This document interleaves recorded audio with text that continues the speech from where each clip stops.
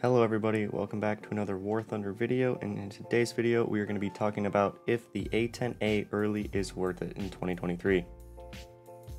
Let's dive into the specs of the A10A early. So looking at the spec sheet on the A10A early, we have a max speed of about 400 miles an hour at sea level, so that's a big benefit having it at sea level versus having it at, you know, 20,000 feet in the air. It actually has a really good turn time, but you gotta account for the fact that it's slow, so it's not gonna be able to like pull an insane amount of G's and make you pass out like crazy. Uh, which is also a really big benefit is you won't really have the problem of blacking out in this thing.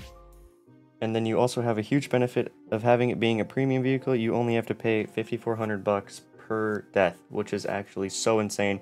As you guys know, the higher up vehicles, they tend to cost quite pricey. Uh, but the A10 with a premium keeps it at 5400, which is huge.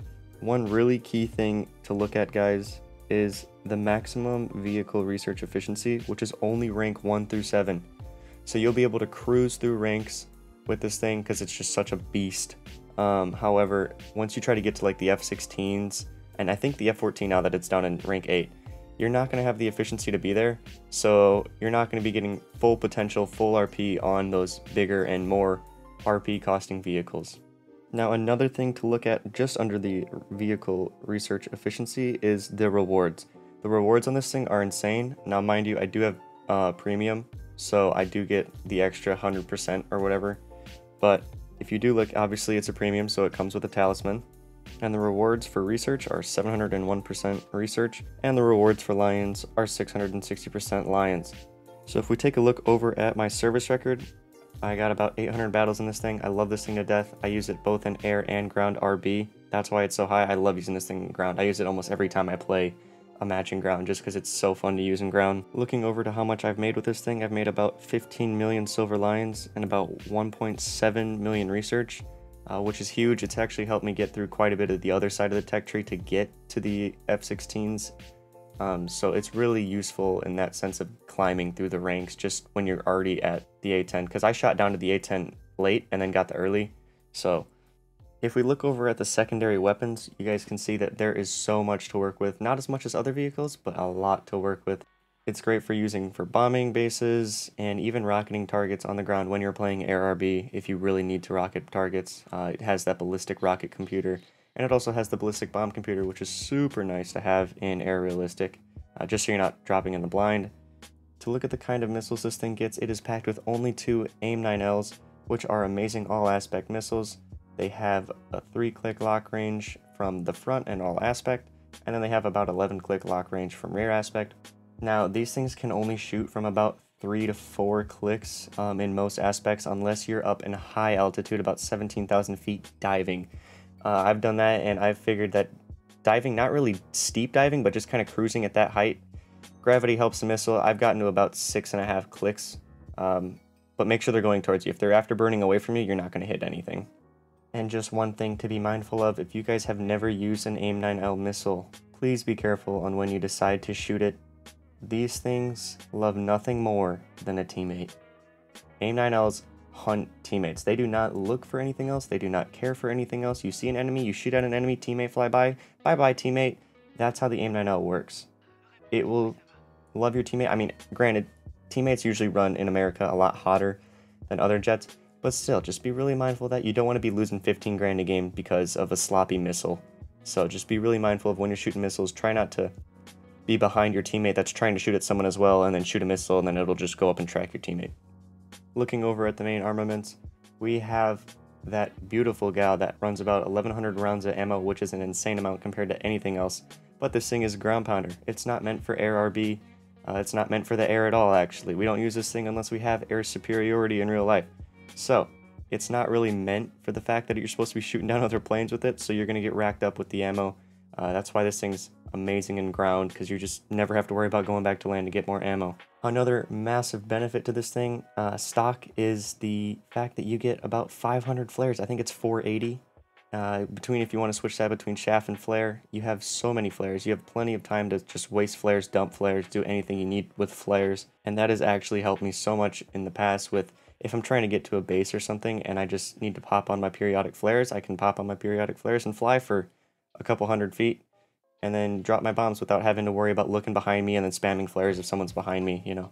Now, mind you, you guys can make custom presets with this thing, which is what I would 100% recommend. Just make sure to keep an eye on the weight. You don't want to be running six 2,000 pound bombs all the time if you're bombing in air because you're slow enough as it is. You don't want to make yourself even slower. But I make most of my loadouts specifically designed for ground RB and not air RB because this thing, again, just performs like it should a lot better in ground RB when you're hitting tanks instead of planes. Now let's shoot over to the pros. So some pros for this thing is the money and RP maker. This thing can just demolish in RP and money making, especially when you got boosters on. I've had plenty of games where I've had boosters on and I've gotten 300,000, 200,000 SL. Another key factor for both ground and air is that it's such a stealth machine. This thing can stay low to the ground and be undetected all the time, especially if you're playing on those big EC maps. I've had plenty of times where I've been super low on the ground and they just fly right above me. I just pop up, shoot a missile, and dive back down. And it's simple as that. And another great thing is that low, low repair cost of 5400 SL. This thing comes in handy when it comes to dying and having to repair it, especially in ground RB when you're playing with a whole bunch of tanks and you have to repair all those tanks and then you only have to worry about a $5400 repair cost with your high tier jet and another main pro of this thing is the fact that it is a multi-game mode purpose vehicle. I love it in air. I love it in ground. Would i play it in air more? Probably not as much as i would in ground. So if you're looking to play air a lot more i would not really recommend this thing. Although unless you wanted to bomb all the time which is really good way to make money. That's an amazing way to farm money in this thing. Uh, I would definitely recommend this more for ground than air because it's what the vehicle is meant to do. Now let's move over to some of the cons. One of the biggest cons in this thing and like the reason nobody likes it is because of how incredibly slow this thing is.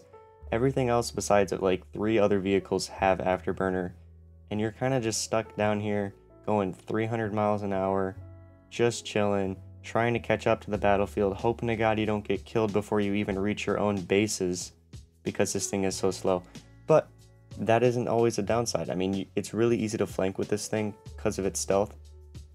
But just be really mindful. If you like to go fast, I don't know if this is the one for you. Another huge con is with this most recent update, there are big maps. I've actually, for the most part, stopped playing Air RB with the A10 just because of these big maps. Like, it's so hard to be able to do a whole lot with these huge, huge maps that they added. Um, I get it, obviously, for the jets. I like that they have the bigger maps when I'm in a uh, afterburn jet, but in the A10, it is more than a struggle to get even to the battlefield, let alone trying to bomb or ground pound, do your normal A10 activities. You know, it is so hard to be able to catch up to anything, especially if your whole team goes out and dies, you're just getting to your bases. You're stuck with two AIM-9Ls, and now that it's 16v16, you got eight other players versus just you. So there's not a whole lot of hope you got there. Um, so I would just be really mindful of the big maps that they just added. It's definitely drew me away from playing the A10 in air, which again, it's not even supposed to be playing in air just because of how the A10 is built. And the last thing is be careful when you're building custom payloads. Um, this is the only really a con if you try to make your payload so aggressive. I usually only run two AIM-9Ls and then a couple of bombs depending on if I even want to bomb. But when you're building those heavier loadouts, again, you're going even slower than slow and it also really affects the turning on this thing when you run a lot more bombs and a lot heavier payloads. Uh, just keep an eye on like your specs whenever you update a payload. Just make sure that it's doable. All right, don't try to make it worse than it already is with the speed and the turnability on this thing. The turnability is good, but don't make it hard. All right, turning is key in this thing. Now, with all that being said, is the A10A really worth it in 2023? My personal opinion is yes and no. If you're looking to play air, I really wouldn't recommend this thing now just because of how much the bigger maps have like screwed the A10s over. Um, granted, you can still make a lot of money. I'm not saying you can't. I've had plenty of games where I've made over 100,000 lions in with the newer maps. But I would just be really mindful of that because it does take a lot longer to get to the battlefield. There's more players. It's just not that good. However, I would 110,000 million percent say that this thing is 100% worth it if you have a 9.7, 9.0 if you really want to push yourself to 10.0 or higher, or a 10.0 or anything higher than 10.0 lineup. This thing mercs in ground. There's a whole different playstyle to it in ground. If, if you guys want me to make a video on how to play this thing in ground, because there is a lot of like strategic ways to play this thing, different strategies, different ways, most successful ways, least successful ways, this, that, and another. You guys want me to make a video on that, let me know. I will definitely do that for you guys. But for the most part, my opinion is this thing is way better in ground as it's intended to be. It's not meant for shooting down airplanes than it is in Air RB. However, that's my personal opinion. I think that it's up to you guys on whether or not you want to buy it. Again, if you're looking for air, would not really recommend it. It's really good for air if you can play it right. It's really hard to play it now. Um, I never play it.